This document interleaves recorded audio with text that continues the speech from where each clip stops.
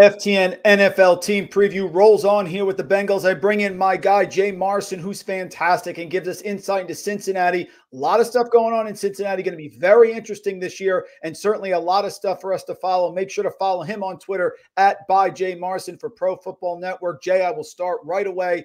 Joe Burrow. What is the update? He just returned to practice. He was absent for a while, and we heard the comments about Chase week five. What are you hearing here with the recovery of the superstar quarterback?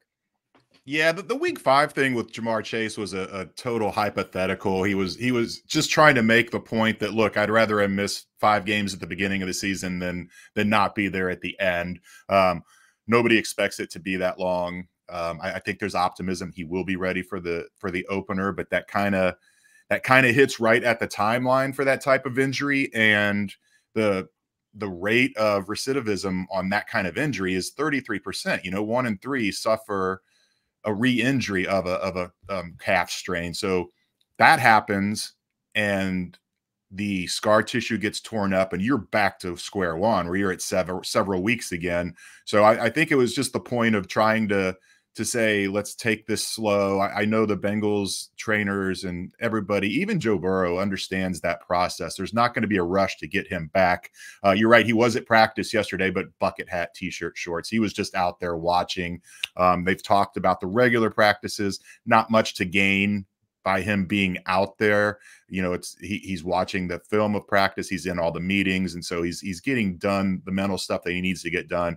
Yesterday was a little different. A lot of uh, a lot of people there: Chad Johnson, Anthony Munoz, Tim Krumrie, some famous past Bengals. Uh, the Packers in town for the joint practice. Joe wanted to be a part of it. There was some excitement around that. Made sense. Brian Callahan, the offense coordinator, said it was great to see him out there. Uh, really lifted the team spirits to see him out there. But I don't think nothing has changed in terms of that timeline. That's still, you know, the most optimistic um, point would be week one. And, you know, you still can't rule him out missing that first game in Cleveland. Which leads me to the backfield. And of course, Joe Mixon, I'm sure you can imagine the fantasy world here. There was uncertainty about what was going to go on with him, suspension or otherwise. Mm-hmm.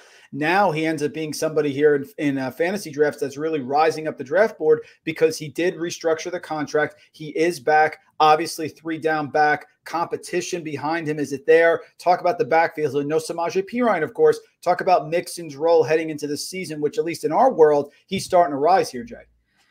Yeah, I mean, I think it's going to look a lot like last year, where he's going to be a first and second down guy. He's not going to be on the field in two minute drives at the end of the half, at the end of the game. Um, he is a liability and and and pass protection. Let's just call it mm-hmm. what it is. The issue there, though, is is who's going to be that guy. Mm-hmm. Samaje Perine was terrific, and they're they're still trying to find it. You know, the the leader to the, the leading candidate to take that job, Trayveon Williams, who's been here for a number of years and never really gotten a chance he he has a, a, an ankle sprain that has kept him out and they initially said week to week on that but he's already out of the boot. He looks really good on the rehab field. Maybe he comes back earlier than expected. We're sure not going to see him friday night against the packers.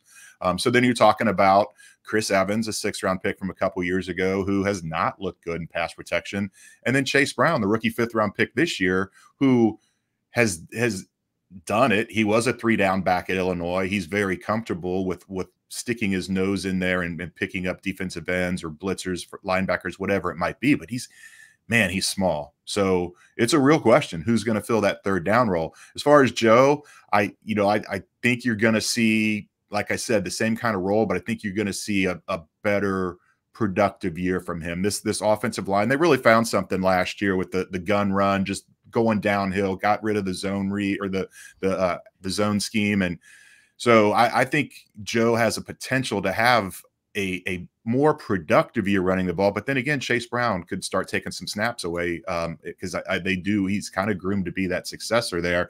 And then the one caveat in this whole thing is Joe Mixon goes to court next week on the aggravated menacing charge. So we we have to see how that plays out. There there could be, uh, uh, depending on what the outcome is, there could be a suspension coming from the league.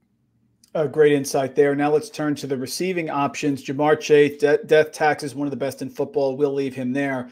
Tee Higgins, up and down last year, certainly talented. Just need health from him.